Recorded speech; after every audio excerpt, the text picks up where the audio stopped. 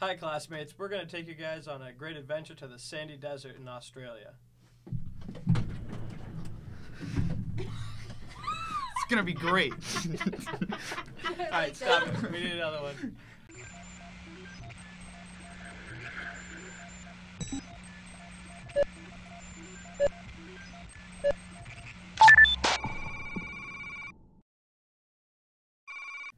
Covering roughly 150 square miles. Covering roughly 150 square miles, the Great Sandy Desert is Australia's second largest desert. This amazing biome is also Australia's most ecologically rich desert.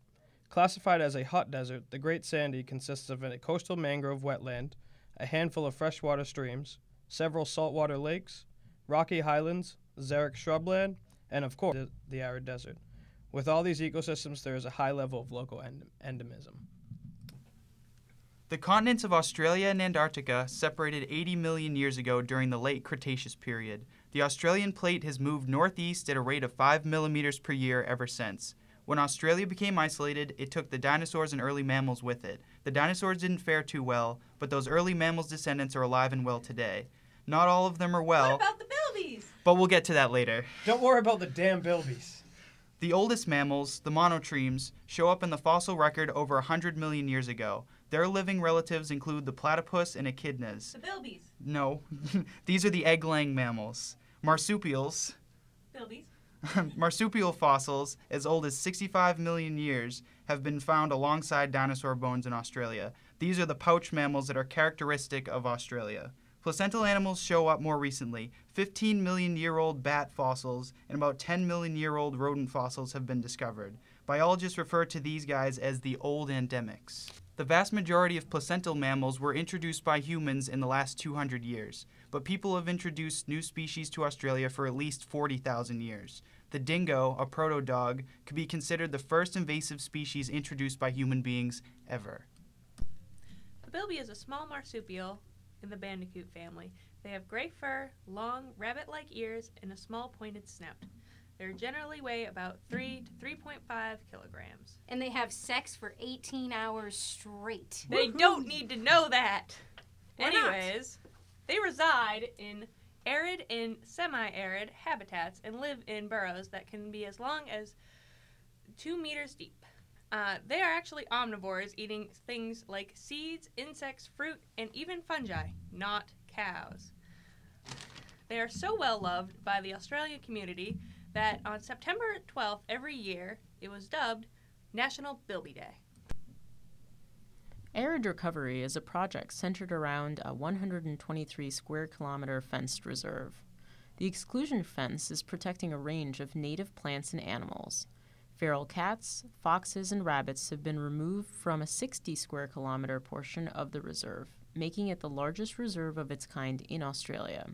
The Foundation for Rabbit Free Australia is Australia's only publicly subscribed fund that focuses its activities on the means to eradicate Australia of continuing impacts wrought by the wild European rabbit on their primary industries and their dwindling biodiversity.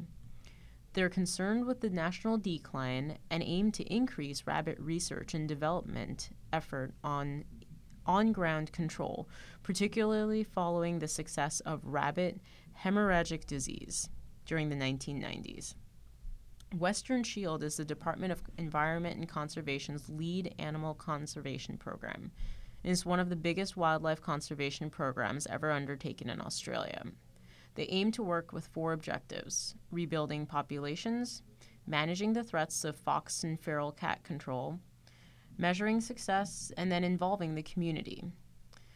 The Australian Wildlife Conservancy has two sanctuaries, the Scotia Sanctuary and the Yookamurra Sanctuary, which aim to increase biodiversity through surveys and monitoring, research into feral predator control techniques, feral animal control, fire management, and threatened species reintroductions. Also, in the Yookamurra Sanctuary, they are aiming to reintroduce revegetation and rehabilitation. And lastly, the Kanyana Wildlife Facility has a bilby breeding program. The state of the art rehabilitation facility aims for educating the public with humane and ethical treatment of native wildlife, to rehabilitate sick, injured and orphaned wildlife and also to successfully breed colonies. The Save the Bilby Fund was founded in 1999 by conservationists Frank Manthey and Peter McRae. In their initial vision, they decided they needed to research the biology and ecology of the species to identify the reasons for the population decline. They wanted to direct the management efforts towards addressing these threatening processes and wanted to reestablish populations based on the biological knowledge gained through research. Frank and Peter quickly discovered that the most prominent threat to the bilby was feral animals, such as the rabbit.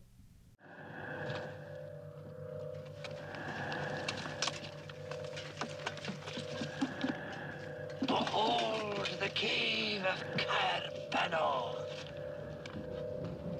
Right. Keep me covered. What with? Just keep me covered. Too late. What? There he is. Where? There. What, behind the rabbit? It is the rabbit. You silly sod! What? You got us all worked up! Well, that's no ordinary rabbit. That's the most foul, cruel, and bad-tempered rodent you ever set eyes on. You tit! I saw my arm and I was so scared. Look, that rabbit's got a vicious streak a mile wide. It's a killer. Get stuff. He'll do you a, a treat, mate. Oh, yeah? Manky Scots git. I'm warning you. What's he do? Nibble your bum? He's got huge, sharp. Uh, he can leap about. Look at the bones. Go on, boys, chop his head off. Right, silly little bleeder. One rabbit stew coming right up. Look. Jesus Christ! I warned you. I've done it again. I warned you, but did you listen to me? Oh, no, you knew it all, didn't you? Oh, it's just a harmless little bunny, isn't it? Well, it's always the same. I always oh, tell shut them. up! Do they listen to me? Right. Oh, no.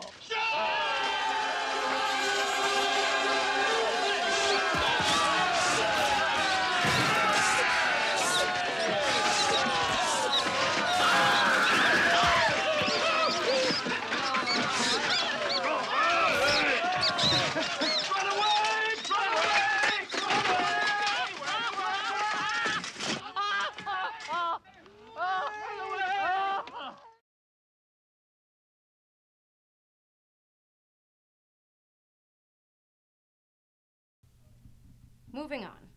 After having discovered the cause of the bilby decline, Frank and Pete, great guys by the way, decided to launch an awareness campaign across Australia.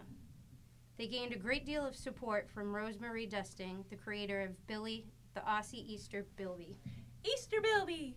Teamed up with Rosemary and other supporters, they gained enough money to build a fence. It was constructed for $500,000, funded through donations from across Australia.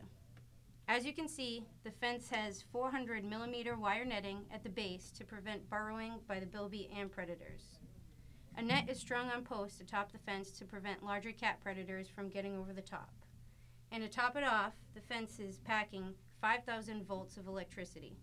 Fried rabbit, anyone?